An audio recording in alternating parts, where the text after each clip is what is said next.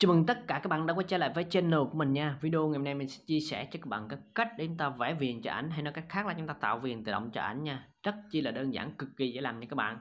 Thì đầu tiên, sau khi chúng ta tạo xong thì chúng ta sẽ có tấm hình như thế này. Đó.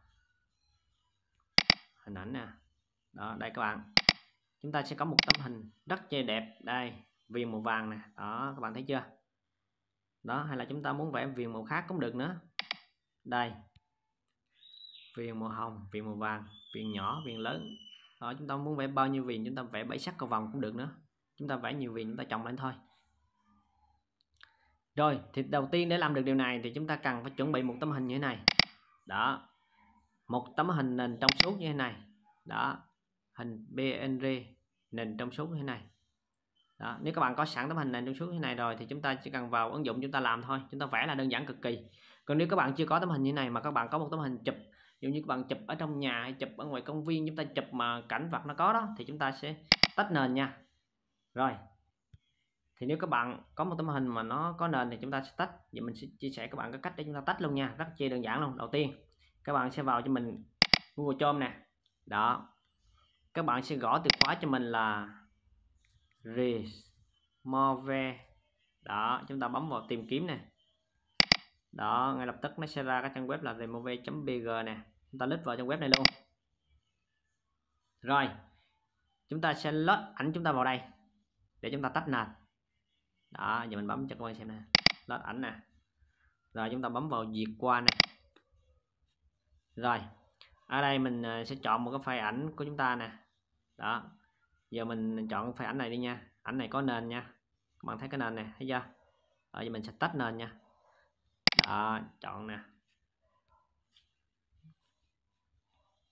Rồi nó sẽ tự động nó tách nền cho chúng ta luôn nha. Đó. Rồi xong. Rồi bước tiếp theo là chúng ta chỉ cần download tấm ảnh về này về thôi là chúng ta sẽ tách được nền rồi đó. Là chúng ta có ngay tấm ảnh thôi. Rồi chúng ta đã tải xong một tệp rồi đó. Rồi xong. Còn nếu các bạn à, muốn uh, sử dụng cái ứng dụng này mà nó tiện lợi nữa thì các bạn làm theo mình nha. Các bạn click vào cái chỗ này ba chấm góc bên phải nè. Ở chúng ta đưa ra màn hình chính luôn nha. Rồi chúng ta bấm vào thêm vào màn hình chính nè. Đó. Rồi chúng ta tạo tên cho nó nè chúng ta muốn tạo tên gì cũng được để cho chúng ta dễ nhớ dễ sử dụng. Đó hiện tại thì tên uh, tự động của nó là như thế này. Chúng ta sẽ tạo cái tên khác ví dụ như là xóa nền đi cho nó dễ nhớ. Đó chúng ta tạo như thế này chúng ta thêm. Rồi chúng ta bấm vào tự động thêm này rồi, như vậy là chúng ta đã thêm một ra ngoài một hình chính rồi đó. Đây, các bạn xem nè. Đây, mình vừa thêm đây, xóa nền này các bạn. Thì mình sẽ đưa ra ngoài luôn, mình xài cho nó tiện lợi. Đó, chúng ta làm như vậy đó.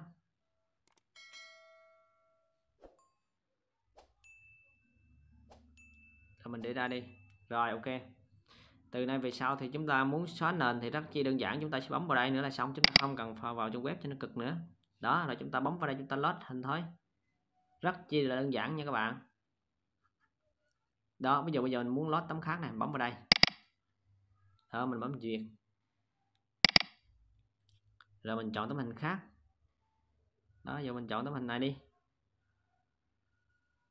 Bấm vào đây. Rồi, nó sẽ tiến hành là xóa nền cho chúng ta. Đó, các bạn xem nè rồi, xong đó các bạn. Đây, tấm ở dưới là tấm vừa nãy nè. Đó. Còn tấm này là chúng ta vừa làm nè. Rồi, chúng ta bấm download về nè. Rồi, là tải một tệp xuống nè các bạn. Rồi, xong đó các bạn. Rồi tiến hành chúng ta sẽ thoát ra nè. Vậy là mình đã chia sẻ cho các bạn cái cách để chúng ta xóa nền ảnh thành công rồi đó. Rất chi là lạ, đúng không? Rồi, tiếp theo là chúng ta sẽ bấm vào kiểm tra thử hình chúng ta đã tải về chưa nè. Đây, hai tấm ảnh của chúng ta được tải về nè. Xóa nền thành công nè. Một tấm nè đó tấm thứ hai nè. Đó. Rồi. Chúng ta sẽ trở về. Rồi sau khi chúng ta đã có tấm ảnh xác nền thành công rồi thì chúng ta sẽ tiến hành vào ứng dụng PixArt nếu các bạn chưa có thì các bạn sẽ vào Sebalay các bạn tải PixArt cái tên như thế này. Đó. Hoặc là chúng ta xài uh, iPhone thì chúng ta sẽ vào App Store chúng ta sẽ tải. Đó, ứng dụng này rất là phổ biến nha. Đây là ứng dụng chỉnh sửa hình ảnh trên điện thoại cực kỳ là tuyệt vời nha các bạn. Rồi chúng ta sẽ click vào PixArt nè. Tiếp theo chúng ta sẽ click vào dấu cộng nè, ở dưới màn hình đó. Và chúng ta sẽ chọn cái file hình mà chúng ta vừa tải về nè. Đó. Chúng ta chọn cái file ảnh à, màu đỏ này đi. Đó. Rồi tiếp theo chúng ta sẽ kéo cái thanh công cụ ở dưới này nè. Thanh công cụ ở dưới này các bạn. Đó, chúng ta sẽ kéo qua nè. Chúng ta sẽ chọn vào chữ viên nè. Đó, viền này các bạn thấy chưa? Viền đó, chúng ta click vào đây đó, các bạn thấy chưa? Ngay lập tức có viền rồi đó. Chúng ta chỉnh viền lại nè. Chúng ta muốn lớn nhỏ cái thanh này nè. Thanh này các bạn thấy chưa? Ta muốn lớn nhỏ tùy chúng ta đó, thì mình để sẽ để là số số 3 này cho nó hợp lý. Mình để số 3 là ok đó các bạn. Rồi, chúng ta muốn chọn màu thì chúng ta chọn màu thanh công cụ dưới này nè. Đó, chúng ta chọn màu. Dù mình muốn chọn màu à, vàng đi. Vàng nè. Ta chọn clip vào vàng. Đó. Rồi, chúng ta thích cái màu này là đúng không? Hay là chúng ta không thích màu này, chúng ta chọn màu khác. Tùy chúng ta thôi rồi sau khi chúng ta chọn màu xong thì chúng ta click vào dấu tích này để chúng ta lưu lại. Đó chúng ta đã có một tấm hình.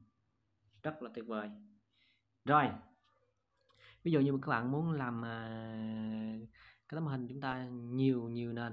Đó nó nhiều cái viền để cho nó trở thành bảy sắc cầu vòng luôn. Thì chúng ta tiếp tục bấm vào thanh công cụ viền tiếp nè. Kéo qua. Rồi viền tiếp nè. Chúng ta click vào tiếp viền nữa nè. Đó ngay lập tức chúng ta sẽ thấy không? Có thêm viền nữa đó rồi chúng ta sẽ chọn màu tiếp nè. Vậy chúng ta sẽ chọn màu uh, xanh đi nha. Xanh này đi. Đó rồi chúng ta chỉnh thanh công cụ này xuống. Còn số 3 chúng ta muốn số nào thì tùy chúng ta thôi nha. Mình không biết nên mình chỉ chọn số 3 là hợp lý nhất theo mình nè. Rồi các bạn muốn cái viền to nhỏ thì các bạn chỉnh theo ý muốn của các bạn. Rồi xong. Chúng ta click vào dấu tích này. Đó. Rồi như vậy là chúng ta đã có viền vàng viền xanh. Tiếp theo mình sẽ list sinh công cụ tiếp nè. Chúng ta list sang cái viền tiếp và chúng ta chọn viền. Đó. Tương tự thôi, các bạn muốn làm như thế nào thì chúng ta làm theo thôi. Chúng ta chọn viền đỏ đi. Chúng ta muốn bao nhiêu viền cũng được. Rồi chúng ta chở cái thanh công cụ này về số 3 đi cho nó đều nhau luôn. Rồi. Chúng ta bấm vào dấu tích này nha, để lưu lại. Như vậy là mình đã có ba màu, vàng, xanh, đỏ. Nếu chúng ta muốn làm bảy sắc cầu vòng thì chúng ta làm theo màu sắc nóng lạnh của nó nha, theo thứ tự nha ở đây mình làm ngẫu nhiên nha các bạn. Mình à, chỉ chia sẻ cho các bạn hiểu thôi. Còn làm ngẫu nhiên ngẫu nhiên các bạn muốn làm theo bởi sắc các vòng thì chúng ta sẽ làm theo màu của nó nha. Rồi tiếp theo mình sẽ chọn một màu khác đi. Viền tiếp nè chọn vô cái uh, ba màu đúng không? Mình chọn thêm một màu nữa nè.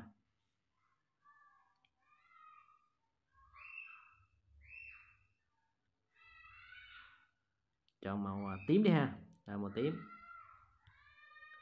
ok chuyển thành công cụ xuống số 3 rồi chúng ta lít vào dấu tích này. Như vậy là chúng ta đã có bốn màu. Rồi chúng ta tiếp tục làm một màu đi. Đó cứ thế tương tự chúng ta muốn làm bao nhiêu màu cũng được nha. Đó, viền tiếp nè. Rồi mình sẽ chọn màu gì ta? Nãy giờ nhiều màu lắm rồi đó. Tím rồi bây giờ mình sẽ chọn cái màu à, đây đi. Đây đi cho nó đẹp. Rồi chỉnh xuống còn số 3 rồi à, số 2 à? Lên xíu nữa. Rồi chúng ta click vào dấu tích này để chúng ta lưu lại. Rồi các bạn thấy chưa? Rồi tiếp tục chúng ta muốn lưu cái này lại luôn thì chúng ta bấm vào lưu đây. Đó mũi tên đây rồi chúng ta sẽ bấm vào lưu. Rồi bấm tiếp một lần nữa, lưu. Ảnh vào thiết bị. Như vậy là đã lưu vào thư viện chúng ta. Ok ta trở về lại. Chúng ta vào album chúng ta kiểm tra. Đó, các bạn thấy chưa? Nè, đã xuất hiện rồi các bạn. Click vào đây luôn cho các bạn xem. Rồi chúng ta click lại một lần nữa vào hình ảnh thì nó sẽ đen chúng ta dễ nhìn thấy. Đó, các bạn thấy chưa? Cái viền rất chi là đẹp luôn. Rồi cực kỳ đơn giản thôi các bạn rồi thì nãy giờ mình đã chia sẻ cho các bạn cái cách để chúng ta vẽ viền cho ảnh. Rất cực kỳ là chi tiết nha. Đó các bạn chỉ cần xem áp dụng và làm theo thì sẽ thành công 100 trăm nha các bạn. Đó, đơn giản thôi. Đầu tiên thì các bạn chưa có một tấm hình à, nền trong suốt thì các bạn sẽ vào à, đây Google Chrome. Đó để chúng ta gõ cái từ khóa này nè trong web này nè. Đó sau khi à, chúng ta gõ xong thì chúng ta load ảnh lên đây còn nếu chúng ta không muốn load ảnh trên đây cực khổ quá thì chúng ta bấm vào ba chấm ở đây như vừa nãy mình hướng dẫn đó. Chúng ta bấm vào thêm một hành chính nè. Đó. Nó sẽ tự động nó sẽ load và nó sẽ thêm hành chính chúng ta thôi. Đó thì sau khi chúng ta thêm xong thì chúng ta sẽ được một cái uh, ứng dụng như như kia. Đây dòng trở ra nè. Thì mình không thêm nữa nãy mình thêm rồi. Thì mình hủy nè. Đó. Thêm xong thì chúng ta sẽ có được một ứng dụng như thế này bên ngoài. Rất là tiện lợi chúng ta chúng ta đặt tên là xóa nền để chúng ta dễ nhớ rồi chúng ta click vào đây là ngay lập tức nó truy cập vô phần vừa nãy.